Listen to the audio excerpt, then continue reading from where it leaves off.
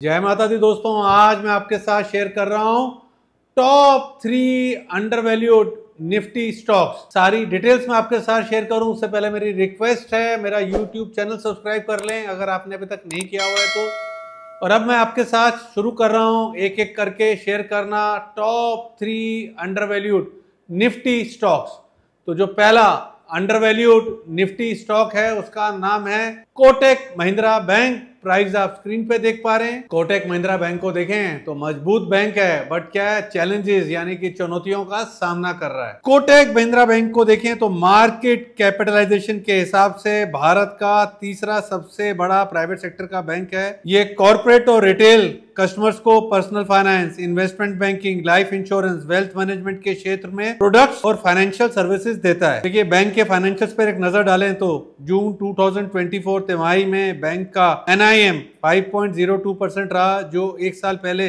5.57 percent था। Bank ने अपने लोन बुक के 1.5 परसेंट से नीचे नेट एनपीए को बनाए रखा हुआ है। पिछले एक दशक में बैंक के लोन बुक में 25 परसेंट से अधिक के सीएजीआर से वृद्धि हुई है। डिजिटल सेगमेंट में 40 परसेंट प्रतिवर्ष की प्रभावशाली वृद्धि देखी गई है। और बैंक के चैलेंजेस यानी कि चुनौतियों और आगे का रास्ता देखें तो 2024 में कोटेक बंद्रा बैंक के शेयर में 11 परसेंट की गिरावट देखने को मिली है। आरबीआई द्वारा ऑनलाइन चैनल के माध्यम से ग्राहकों को जोड़ने और क्रेडिट कार्ड जारी करने पर नए प्रतिबंध लगाने के बाद स्टॉक में गिरावट देखने को मिली थी। मैनेजमेंट का कहना है, इससे ग्राहक वृद्धि की गति प्रभावित होने की उम्मीद है। हालाँकि बैंक इस तथ्य से अवगत है और सिर्फ़ व्यापार वृद्धि सुनिश्चित करने के लिए मौजूदा ग्राहकों के साथ अपने संबंधों को गहरा करने की योजना बना रहा है। कोटेक महिंद्रा बैंक अपने आईटी सिस्टम को मज़बूत करने के लिए नए तकनीकों को अपनाने के उपाय किए हैं और जल्द से जल्द आरबीआई के साथ काम करना जारी रखेगा। वैल्यूशन देखें तो कोटेक महिंद्रा बैंक के स्टॉक का पी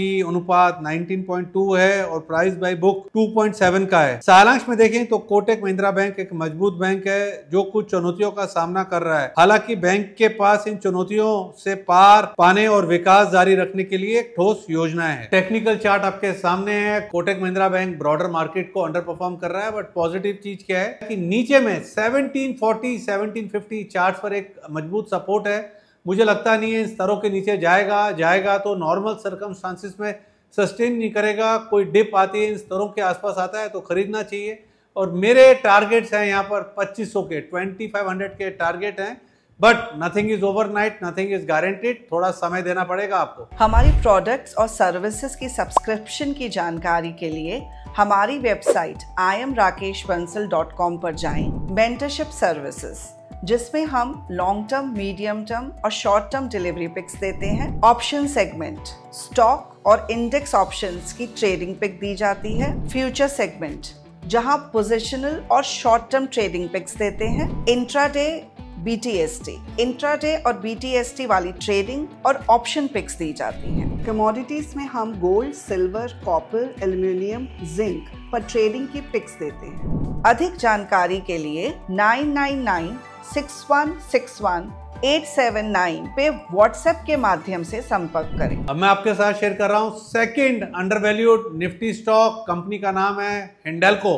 प्राइस आप स्क्रीन पे देख पा रहे हैं। हिंडेल्को को आप देखें तो एल्यूमिनियम और कॉपर का दिग्गज है। भविष्य की तरफ़ बढ़ता कदम। हिंडाल्को इंडस्ट्रीज़ एक भारतीय एल्यूमिनियम और कॉपर बनाने वाली कंपनी है। ये आदित्य बिरला ग्रुप की एक सहायक कंपनी है। हिंडाल्को दुनिया में सबसे बड़ी एल्यूमिनियम रोलिंग और रिसाइकलिंग कंपनी है। साथ में ही एक प्रमुख कॉपर कंपनी भी है। ये एशिया के टॉप प्राइमरी एल्यूमिनियम उत्पादकों में से एक है। ये बिल्डिंग और construction automobile packaging electrical consumer durable refractories और सेरेमिक जैसी कई उद्योगों को सेवा प्रदान करती है। फाइनेंशियल पर एक नज़र डालें तो वित्तीय वर्ष टू 2024 में हिंडेल्को की बिक्री में 3.2 परसेंट की साल दर साल गिरावट आई है और ये 2.1 लाख करोड़ रुपए रही। साल के लिए शुद्ध आय में 0.6 परसेंट की मामूली वृद्धि हुई है और ये 10,100 करोड़ रुपए रही। नए समझौते और भविष्य की योजनाएँ देखें तो कंपनी ने अमेरिका बैटरी निर्माता चार्ज सी फोर यू के साथ लिथियम आयन बैटरी बनाने के लिए कोडेक बैटरी फॉइल्स और स्ट्रक्चरल कंपोनेंट की आपूर्ति के लिए एक समझौता समझौता ज्ञापन पर हस्ताक्षर किए हैं। समझौते के अनुसार हिंडालको पाँच साल की अवधि के लिए सी फोर वी को 2000 टन तक बैटरी ग्रेड एल्यूमिनियम फॉइल्स की आपूर्ति करेगा।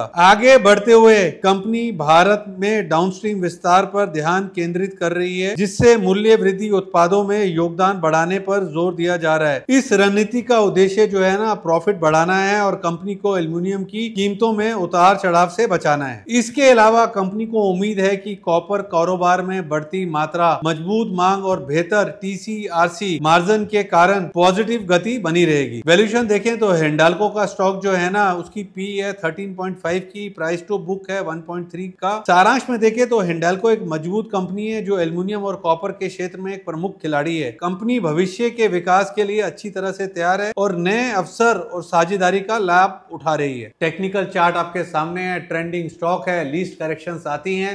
मेरी तो यहाँ गिरावट पर खरीदारी की राय है। बाय एंड फॉरगेट वाला स्टॉक है। बाय करके अगर आप बोल सकते हैं तो अच्छी रिटर्न यहाँ बन सकती है। हमारे प्रोडक्ट्स और सर्विसेज़ की ज़्यादा जानकारी के लिए nine nine nine six one six one eight seven nine पर व्हाट्सएप के माध्यम से संपर्क करें।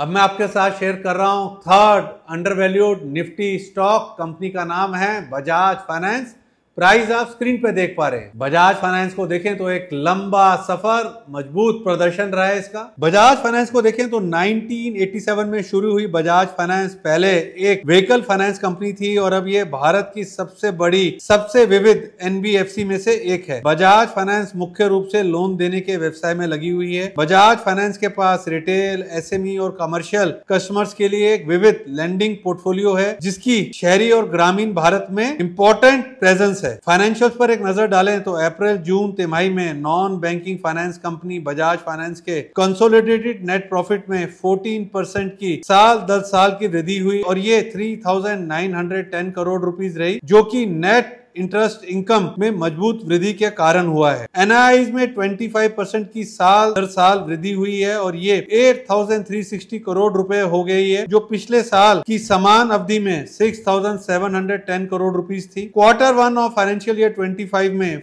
फंड की लागत 7.94 परसेंट थी, जो जनवरी, मार्च क्वार्टर में, यानी कि quarter four of financial year 24 से अधिक है, जो उधार लेने की उच्च लागत को दर्शाता है। क्वार्टर वन फाइनेंशियल ईयर 25 में NIM quarter four financial year 24 की तुलना में कम हो गया है, जो कि फंड की बढ़ती हुई लागत और एसेट अंडर मैनेजमेंट की संरचना बदलाव के कारण हुआ है। आगे का रास्ता देखें तो बजाज फाइनेंस अपनी मार्केट शेयर बनाए रखने और अपने व्यवसाय को समान विकास दर पर चलाने की कोशिश कर रहा है। प्रतिस्पर्धी बाज़ार के बावजूद कंपनी का प्रभावी ढंग से अपनी पकड़ बनाए हुए वैल्यूशन देखें तो बजाज फाइनेंस का पी 27.1 का है प्राइस टू बुक 5.5 का है। सारांश में देखें तो बजाज फाइनेंस एक मज़बूत कंपनी है, जिसका प्रदर्शन अच्छा रहा है। कंपनी भविष्य के विकास के लिए अच्छी तरह से तैयार है और चुनौतियों का सामना करने के लिए रेडी है। बजाज फाइनेंस का टेक्निकल चार्ट आपके सामने है और देखें तो सितंबर 2021 से अभी तक कोई रिटर्न नहीं आया।